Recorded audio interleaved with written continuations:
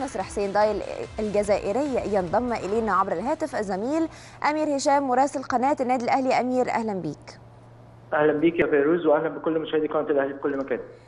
أمير في البداية إيه هي أبرز فقرات تمرينة النهارده؟ طبعا خليني أقول لك إن النهارده المران كان الساعة 10:30 أكيد كان مران مهم جدا بالنسبة للفريق وللجهاز الفني واللي كان بيقود المران النهارده كابتن أحمد أيوب استعداد للمباراه فريق النصر حسين داي الجزائري إن شاء الله يوم الجمعة. النهارده المران كان عبارة عن بعض التدريبات الاستشفائيه بالنسبة للاعبين اللي شاركوا بشكل أساسي خلال المباراة السابقة أمام فريق الوحدة الإماراتي واللي قدر النادي الأهلي يفوز بنتيجه 2-0 فيها وأيضا كان في بعض التدريبات البدنية المتوسطة بالنسبة لبعض اللاعبين اللي ما كانوش شاركوا في المباراة بشكل كامل أو اللي ما شاركوش خالص. بالتالي كانت التدريبات كلها تدريبات بدنية فيها بعض التدريبات الكرة أيضا.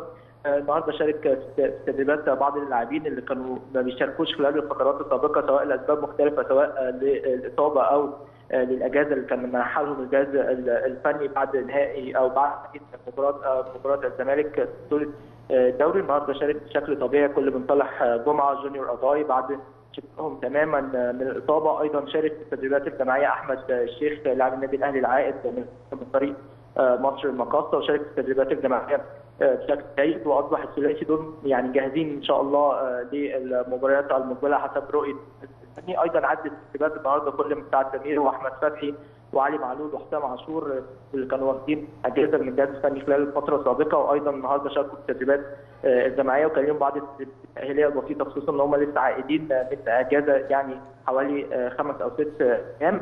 بالتالي إن شاء الله خلال الفترات المقبلة هيكونوا جاهزين للمباريات الرسمية إن شاء الله مع النادي الأهلي بالنسبة لشريف اكرامي وعبد الله السعيد لسه قدامهم يعني المفروض إن شاء الله هيرجعوا يوصلوا القاهرة طبعا من فترة الأجازة بتاعتهم يوم الجمعة القادم ومن ثم ينضموا للتدريبات مع الفريق الأول إن شاء الله استعدادا لمختلف المباريات المقبلة.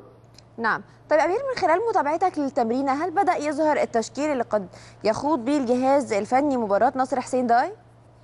آه لا لسه ما, ما ظهرش الشكل اللي ممكن يلعب بيه كابتن حسام البدري بقى. كابتن حسام البدري إن شاء الله هيعود تدريبات مع النادي الأهلي متواجد وهيوصل بكرة إن شاء الله آه القاهرة. بالتالي لسه ما بشكل كبير الجهاز الفني على الشكل أو التشكيل اللي ممكن آه يلعب المباراة المقبلة. وزي ما إحنا عارفين يا فيروز المباراة المقبلة مباراة مهمة وفاصلة بالنسبة للنادي الأهلي. ضرورة الفوز فيها شيء مهم جدا عشان يكون في أمل للصعود للدور المقبل في البطولة العربية. لكن بشكل عام هيكون في بعض العناصر اللي شاركوا في المباراة الأخيرة وأدوا بشكل جيد ممكن يكونوا متواجدين سواء في التشكيل الأساسي أو التشكيل الاحتياطي بالتحديد. إسلام محارب بعد ما شفناه تألق في المباراة السابقة وقدر يحرز هدف مهم للنادي الأهلي. أيضا ممكن نشوف أحمد الشيخ العائد لصفوف النادي الأهلي من الاعاره في بعض العناصر أكيد اللي هتكون مهمة جدا خلال الفترة الجاية مع النادي الأهلي مش بس أمير كمان لأ نعم.